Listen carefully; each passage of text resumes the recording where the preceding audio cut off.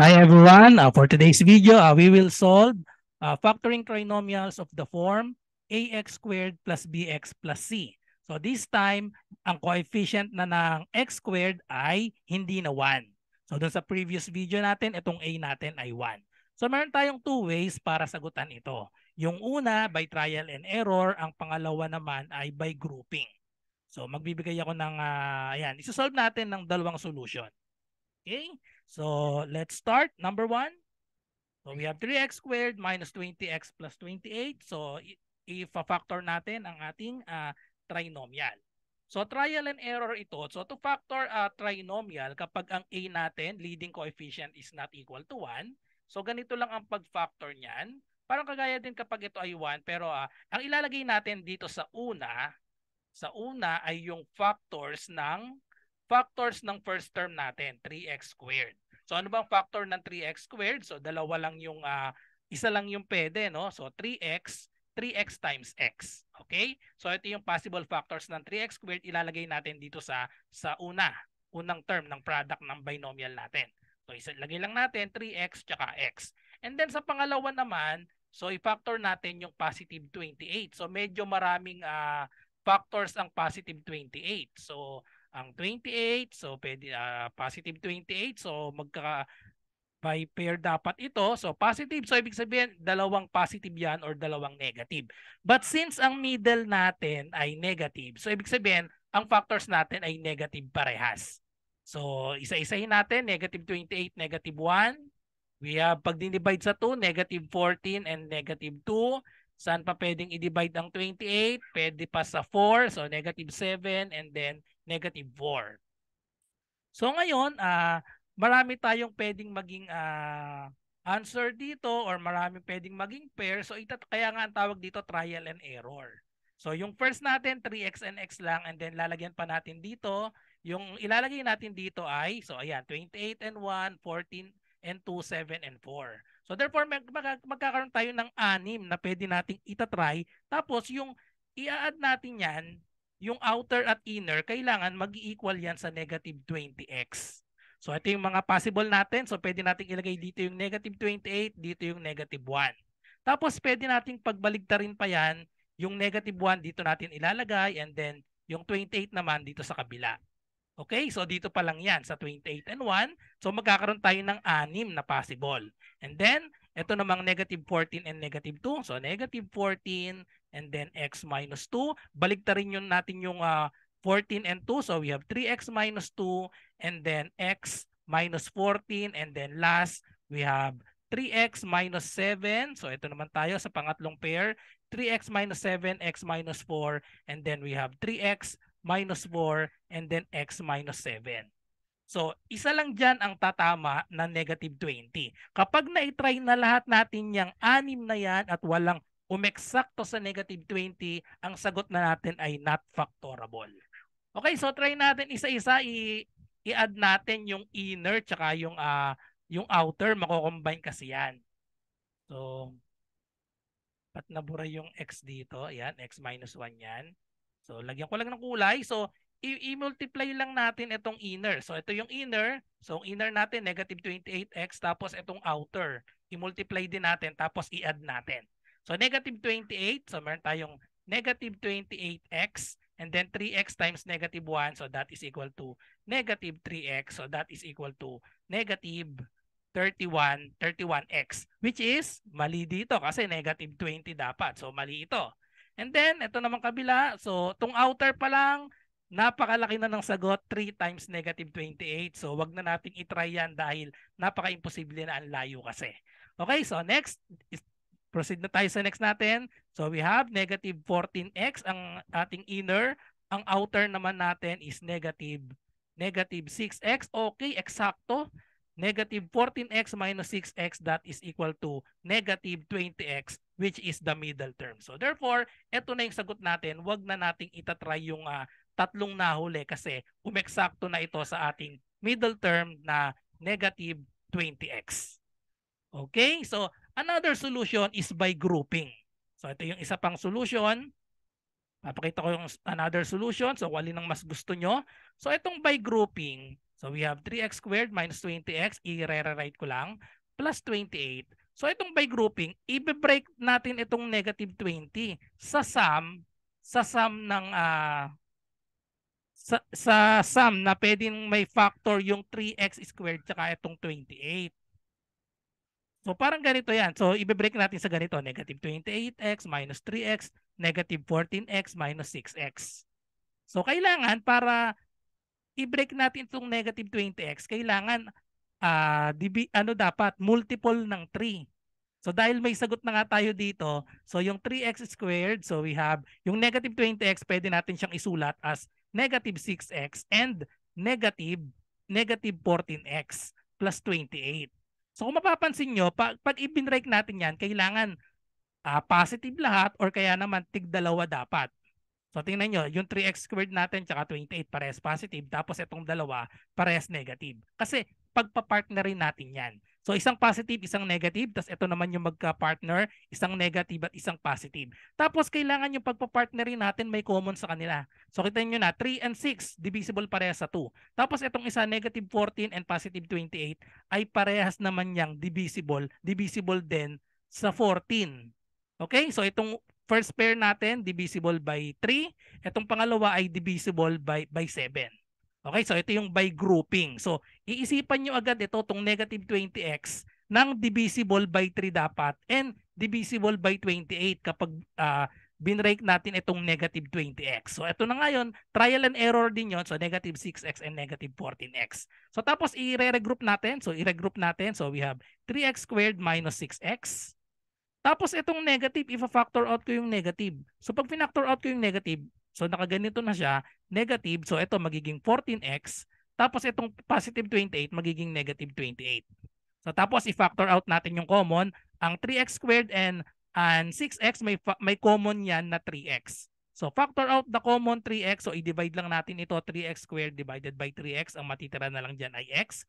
Negative 6x divided by 3x. So the answer is negative 2 minus factor out the common 14x and 28 so parehas divisible by 14 factor out 14 so may matitira tayong ditong x and then negative 28 divided by 14 that is 2 and then meron tayong common na x minus 2 so therefore factor out the common x minus 2 and then isulat yung natira. So yung natira ay 3x and then negative 14 sa pangalawa.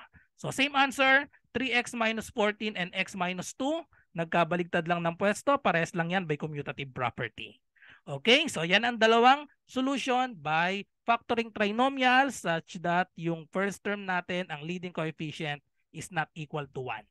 Okay, so trial and error and itong isa by grouping. Okay, so next number 2. So ito naman unahin natin yung unahin natin yung by grouping para kasi kanina may idea na tayo eh no. So unahin natin yung by grouping. So 8y squared minus 10y minus 3. So kailangan negative no. So kailangan ang magiging factor natin dito isang positive, isang negative para partner sila. Partner na may negative may positive. So kailangan divisible by 8. Ah hindi divisible by 8. Ah yung yung isa dapat may may GCF dito sa sa 8y squared. So ibig sabihin pwedeng 2, pwedeng 4, pwedeng 8. Okay, so negative ang itatry ko. So itong negative 10y ifa-factor natin or ibe-break natin sa sum. So itatry ko negative 2, negative 2y. So ano dapat kung negative 2y ito, ang kapartner dapat niya ay 12.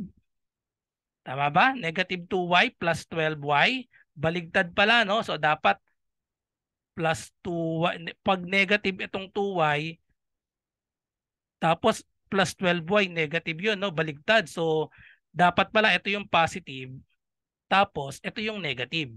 Minus 3.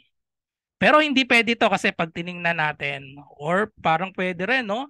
8y and then 8y and 2 divisible parehas, parehas by 2. And then 12, 12 tsaka 3 divisible parehas sa 3. So try nating i-factor. So i-group natin. Uh, so we have 8y squared. Try natin kung pwede to plus 2y. I-factor out natin yung negative sign. Pag pinactor out natin yung negative sign, magiging siyang positive na tong 12y, tapos ito magiging positive, positive 3. Okay, and then i-factor na natin, common. Factor natin yung common. Ano yung common dito sa 8y squared and 2y may common silang 2y. So factor out the 2y. So pag dinivide natin ito, 8 divided by 2, we have 4. y squared divided by y is y. And then plus, finactor out na natin itong 2y, 1 na lang ito. Okay, so we have minus, i-factor out natin 12y tsaka 3. So factor out natin yung 3, magkakaroon pa dito ng 4y plus 1. Ayun, eksakto. Okay, so 4y plus 1, 4y plus 1. Parehas silang may 4y plus 1. So ibig sabihin, ilabas natin yung common nila na 4y plus 1.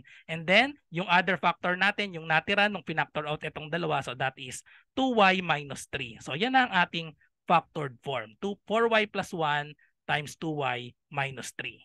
Okay, kailangan pag binrake natin itong, ulitin natin, kapag binrake natin itong negative 10y, kailangan yung makukuha natin ay may common dito sa 8y squared tsaka dito sa negative 3. So, to, positive 2y and negative 12 parehas may common. Di, divisible kasi parehas. Tapos yung ma-factor natin, nagkaroon ng 4y plus 1 parehas. So, yan yung by grouping. So, ito naman yung isang solution. Ito yung by trial and error. So, itatry lang natin ano ang factors ng 8y squared ang factor ng 8y squared, so dalawa yan. 8y times y. Tapos itong isa naman ay 4y times 2y. And then itong negative 3, so factors ng negative 3 ay ano lang no? Plus or minus 3. Tapos dapat opposite ito. Nandito yung negative, positive 1.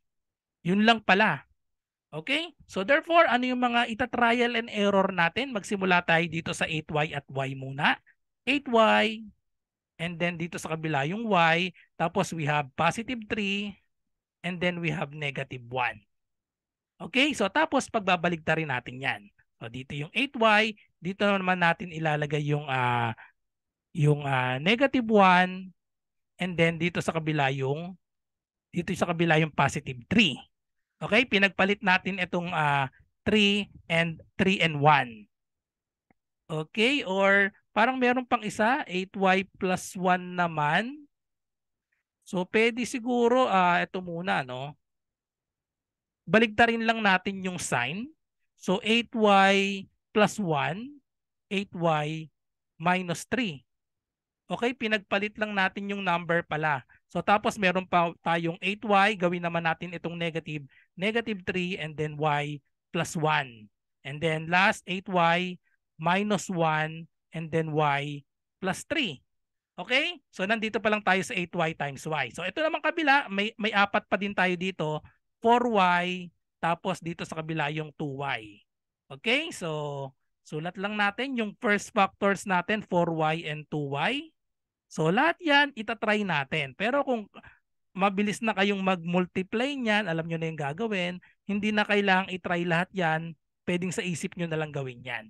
So isulat natin ito, positive 3, negative 1, and then we have positive 1, negative 3, baligta rin naman, negative 3, positive 1, negative 1, positive 3. So yan lahat yung ita-trial and error natin para makuha natin yung middle natin na negative 10y.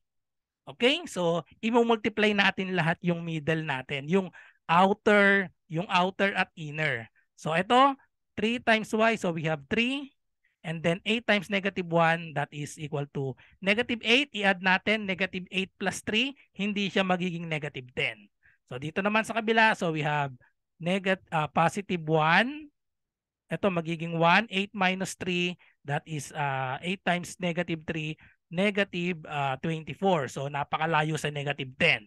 So ito we have negative 3, negative 3 plus 8. So malayo. And then we have negative 1 plus 8 times 3, 24, malayo rin sa negative 10. So ano ba yung sagot natin? May sagot na tayo, 4y plus 1, 2y minus 3. Ito, ito yung mag-eksakto. So 4 times, uh, ito muna sa gitna, 1 times 2, so we have 2. And then 4 times negative 3, negative 12. So 2 minus 12, that is equal to negative 10. So ito na yung hinahanap natin. Ito na yung magiging factor natin by trial and error. Okay, so may sagot na kasi tayo dito kanina. Nauna natin yung by grouping. Okay, so next number, number 3. Okay, so mas madali yung by yung factoring kapag yung ano natin prime kasi eh. Kagaya na to prime itong 5. So, oh, dalawang solution ulit ang gagawin natin. Unahin naman natin yung by trial and error. Factors of 5, yan, madali. Dahil prime itong 5, 5t lang yan, tsaka 5t tsaka t, factors of 5t squared. Itong negative 12 ang maraming factors, okay? So negative 12, anong mga factors niyan? 12 and 1. We have 12 and 1 tapos 2, so 6 times 2 and then 4 times 3. So therefore, tapos pag negative, isang ano, ap apat lahat yung nandito agad eh. So apat dito, apat dito, apat din dito. So therefore, meron tayong 12 na itatry. Okay, so itatry natin lahat yan. So we have first factor natin, 5t. Yung dito sa pangalawa ay t. So unahin natin itong 12 and 1. So negative, so alternate ang sign natin, positive 12, negative 1. And then we have 5t Try naman natin, ah, babalik na rin natin, positive 1 and then negative, negative 12. Okay, so next we have 5t. Balik na rin naman natin, negative, negative naman. Negative 1, tapos positive 12. And then we have 5t, negative 12, and then positive, positive 1. Nandito pa lang tayo sa 12 and 1. Okay, so next, next naman natin yung namang uh, 6 and 2. Okay? So 6 and 2 naman ang itatry natin. 6 and 2. So we have 5T lahat. So medyo medyo matrabaho nga pero kung kabisado nyo na yan, hindi nyo na kailangang isa-isahin yan. Pwede na kayong mag-trial and error na diretso na lang. Okay, so sulat ko muna yung first term natin, 5t and t. And then we have 6 and 2. So positive 6, negative 2, positive 2, negative 6, Baligtad naman, negative 2, positive 6, negative 6, positive 2. Okay, so pwedeng i-try nyo na muna yan bago itong bago itong 4 and 3. Depende sa inyo yan. Pag walang sumakto, tsaka na natin i-try. Okay? So i-try na muna natin. Baka kasi nandiyan na yung sagot. So kunin lang natin yung product ng middle natin, uh, 12 uh, or ng ito yung out uh, inner, tsaka product ng inner at outer. So we have 12 yung numerical coefficient na lang ang nilalagay ko. 12 and then 5 times negative 1. So that is equal to negative 5. 12 minus 5, hindi siya eksakto sa negative 11. Okay? Negative 11 dapat. So mali ito. And then we have 5 times 12 ay napakalayo nito kasi negative 60 plus 1. So napakalayo. So 5 times 12, ganun din. Napakalayo din ito. So pag, na, pag napalitan kasi ng sign, ano na yun eh, magkaka-partner ito. So et, itong isa nagpalit lang ng sign, 60 minus 1. Tapos ito namang, pag nagkamali dito, ibig sabihin itong, ito mali na rin yan. Kasi nagpalit lang tayo ng sign dito. Yun pa rin yung mag, magkaka-partner. Okay? So pwede nang hindi itry yun pag na-try na tong isa. Okay, so we have 5 times negative 2. So dito tayo, 5 times negative 2, we have negative 10. Itong outer, And then inner, negative 10 plus 6. So that is equal to negative, negative 4. So hindi pa rin eksakto. So kung mali ito, automatic mali na rin itong nagkabaligtad lang ng sign.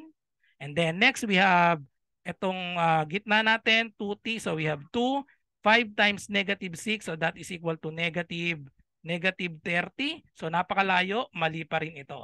So ibig sabihin, ang sagot natin ay nandito sa last part. Okay? So, yan.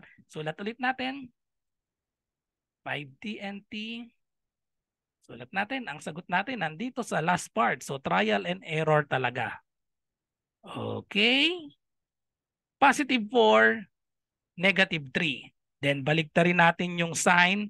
Negative 4, positive 3. And then, we have 5T plus 3 minus 4 And then we have 5t minus 3. Ah, nawala yung t na dito.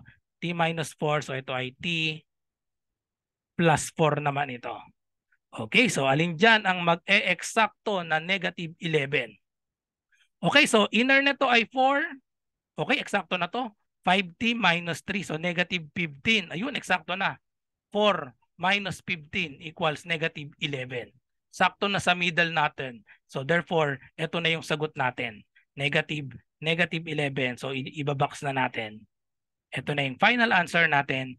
5t plus 4 and then t minus 3. So that is equal to negative, negative 11. So we have 4, 4 ito. And then itong outer is negative uh, 15, and that is equal to negative 11, which is the middle term, the coefficient of the middle term.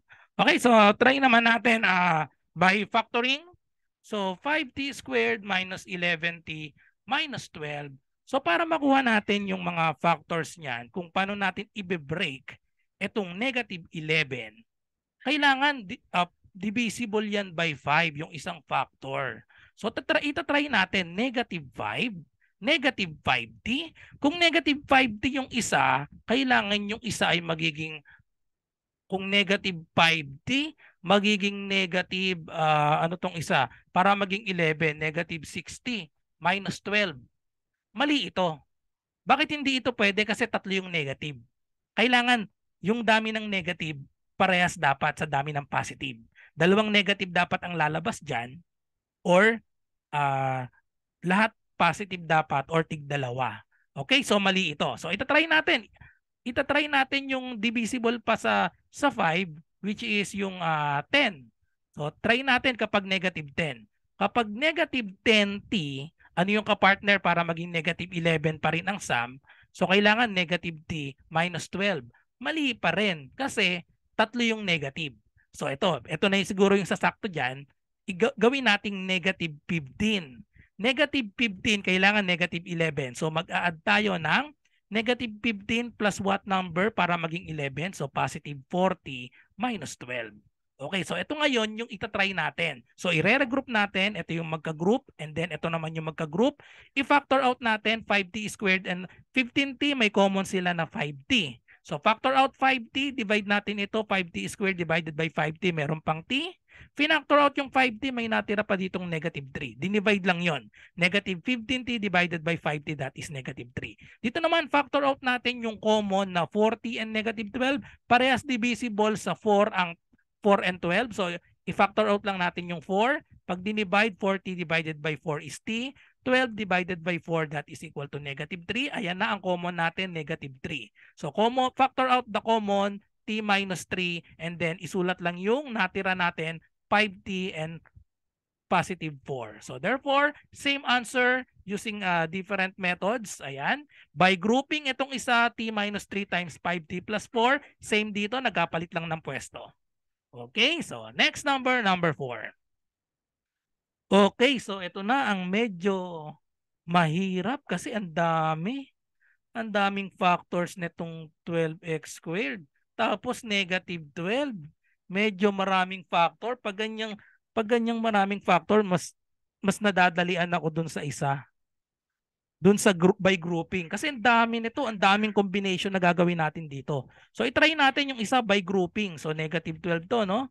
So try ko ang 12x squared uh, positive 7x to, no, ibe-break natin itong 7x. Kailangan dalawang positive, dalawang negative dapat kasi negative itong last term natin, negative 12. So, iisa-isahin natin yan sa divisible by 12. Pero negative dapat ito. Negative dapat yung kapartner niya. So, try natin, divisible by 12, negative 2 muna. Kung negative 2x, ano yung kapartner ng negative 2x? Para maging positive 7 ito. So, we have positive 9x minus 12. Okay, so itry natin kung magkakaroon tayo ng common dito. Paano ba yan? Kailangan, pag dinivide natin itong 12 and 2, kapag dinivide natin itong 12 and 2, magiging itong 6. 12 divided by 2 magiging 6. Ito naman magiging 1 pag dinivide sa 2. Ito namang 9 and 12, pwede nating i-divide sa 3. 9 divided by 3, magiging 3. 12 divided by 3, magiging 4. Hindi parehas. 6134. So ibig sabihin, mali ito. Dapat parehas yan kapag dinivide natin para magkaroon tayo ng common. Balikan natin yung number 3. So, di ba, kagaya nito, yung magka-partner natin, 5t squared, negative 15t, 40, and negative 12.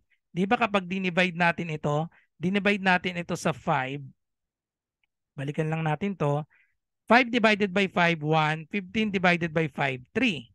Ito naman, 4 divided by 4, 1. 12 divided by 4, 3. Ayun, parehas. 1, 3, 1, 3. Okay? So, ganun, ganun yung pag, uh, pag, para malaman natin kung ano siya. Kung pwedeng gamitin, itong negative 2x and positive 9. So, ibig sabihin, mali itong combination na ito. So try try natin. Isip pa tayo ng divisible. Divisible yung 12 tsaka yung dito may common sila. So try natin negative 3x. So kung negative 3x ito, dapat itong isa naman ay positive. Dapat pag sinabtract natin equal dito. So 10x. 10x minus 3x positive 7x. Okay, sakto. Pero parang hindi siya mag-eksakto kasi divide natin sa GCF ng 12 and 3. 12 divided by 3, 4. So ito magiging 1. Ito naman 10 and 12 divisible parehas sa 2. Pero pag dinivide magiging 5 tsaka 6 pag dinivide sa 2. Okay? So mali. Hindi hindi hindi kasi parehas ibig sabihin hindi tayo makakakuha ng common kapag nag-ano tayo. So try natin ang 4 naman. So we have 12x squared negative 4x. Ano ang kapartner ng negative 4x para maging positive 7? That is equal to 11x. 11x minus 12. Napakalayo nito. Napakalayo kasi 11x minus 12 walang common. So mali na yan. O try naman natin ang 6. Divisible dapat sa 12 yung mga tinatry natin. So 12x squared minus 6x minus kung minus 6x ano dapat itong isa para maging uh, para maging 7x, i-add lang natin. So plus plus 13, 13 minus 6, ayan 7x minus 12. So layo din kasi ito hindi walang factor eh no. So mali pa rin. So try try lang tayo ng try. So sa 12, so try na naman natin yung 9. Kapag negative 9x, so itong 2x, kailangan maging positive 7. So medyo medyo lalaki na dito. Negative 9x, ipa-plus lang natin yan. Negative 9 plus 7, so that is positive. Positive 16x dapat. 16 minus 9, okay, sakto 7x minus 12. Ah, mukhang eksakto na to. Try natin. 12 and 9, pag pinag-partner, divisible sa 3. Pag dinivide, 12 divided by 3, we have 4. 9 divided by 3, we have 3. Ito naman 16 and 12, i-divide natin sa 4. 16 divided by 4 is 4. 12 divided by 4 is 3. Okay, sakto. 4, 3, 4, 3. Okay, so ito na yung magiging, ito na yung gagamitin natin. So, diretso natin ng computation dito. I-regroup natin. So, we have 12x squared, 12x squared minus 9x plus 16x minus 12. So, i-factor out ang common. Ano ang common? Ang common nito ay 12 and 9, pwedeng i-divide parehas sa 3, tapos parehas may x. So factor out 3x, i-divide lang ito, 12x squared divided by 3x. So we have 3x, or sorry, that is 4x dapat. And then negative 9x divided by 3x, that is negative 3. And then plus, factor out the common 16 and 12, both divisible by 4. So factor out 4, 16 divided by 4. So that is equal to 4x. Negative 12 divided by 4, that is negative 3. Ayan na ang ating common. Parehas silang may 4x minus 3. Factor out the common 4x minus 3. And then i-rewrite lang natin yung natira 3x and then positive 4. 3x plus 4. So ito na yung ating magiging answer. 4x minus 3 times 3x plus 4, ito na yung factor natin netong 12x squared plus 7x minus 12. So hindi na natin itatry yung uh, by trial and error na isa dahil nakuha na natin dito. So trial and error na nga rin ito yung ginawa natin dito sa by grouping. So same answer lang din yung makukuha natin dyan. Dahil masyadong marami itong itong factors natin, napakadami niyan. Kaya mas magandang gamitin ito na lang by grouping. Okay, so next number, number 5. Last number. Okay, so madali ito kasi ano lang eh. 2x squared tsaka 3y squared. Parehas prime. So parehas prime. So by trial and error na lang tayo. Yung ganito na lang. Yung factored form. Anong factor ng 2x squared? Ang 2x squared, dalawang, isang pair lang. 2x times x lang yan. Tapos ang 3y squared, so dalawa lang din ang kanyang factor uh, ah, 3y lang, tsaka, tsaka y. Pero, yung dito, dalawa yung sign. Parehas positive or parehas negative. Okay? Parehas positive or parehas negative ang magiging sign natin. Pero dahil ang middle natin, ang middle natin ay negative 7xy, so ibig sabihin, ang gagamitin na natin ay parehas negative hindi na natin ilalagay yung parehas positive. Kasi para mag-negative yung sum nila, kailangan negative parehas yung magiging factor netong ating last term na 3y square. Okay, so isulat lang natin yung apat na possible. yung apat na possible na answers natin dyan. So, yan. So, we have 2x and x. Parang dalawa lang pala, no? 2x and x and then we have negative 3y. Dahil tatanggalin na natin yung positive, so we have negative 3y and negative y. Tapos baligtarin natin, 2x minus y, x minus 3y. Dalawa lang pala kasi tinanggal na natin yung positive dahil ang middle natin ay negative. So, matatanggal na sa choices natin yung positive. Okay, so medyo madali ito kasi kaunti lang yung ano natin, dalawa lang yung pagpipilian natin na maging answer natin. So ulitin natin na kapag lahat ng choices na isulat na walang tumugma sa middle term, ang sagot ay not factorable. So wala tayong example na ganun sa ngayon. So multiply lang natin ng inner natin. So that is equal to yung coefficient na lang. So negative 3. And then itong outer natin, 2 times ito ay 1. So we have negative negative 2. So that is equal to negative 5. Mali. Okay, then ito naman kabila. So negative y times x. So coefficient lang tayo, negative 1. And then 2x, 2 times negative 3, negative 6. And that is equal to negative 7, which is the middle term. So therefore, ang answer natin dito ay itong pangalawa, 2x minus y times x minus 3y. Okay? So kapag naman gamit yung isa, kapag gamit yung isang technique, so ganito lang ang pag uh, 2x squared minus 7xy plus 3y squared. Kapag gamit ang grouping, so mag start tayo sa 2x squared, kailangan divisible by 2. So divisible by 2 dapat. So pwede nating itry muna yung 1. Kailangan negative uh, parehas dahil ito ay pa, negative itong gitna so kailangan dalawang negative yung magiging answer natin. So tatry agad natin divisible by by 2. So pwede yung gawin natin negative x tsaka negative.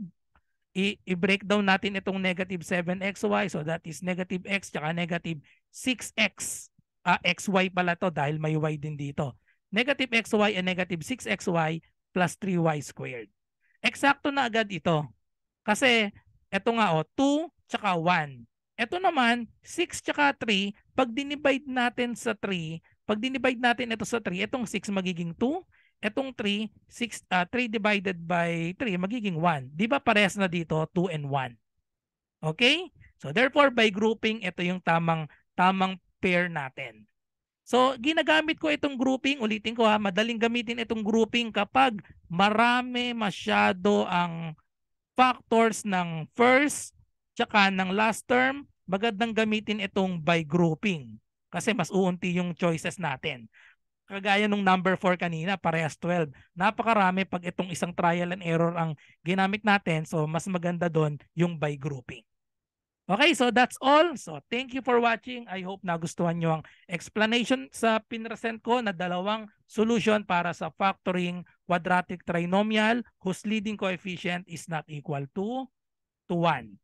Okay, so kung may math question kayo, i-comment nyo lang dito sa aking channel. Pwede rin sa aking FB group na minamanage or i-DM nyo ako sa aking messenger, RJ Enseñado. Bye-bye and God bless. See you sa mga next video tutorial sa algebra.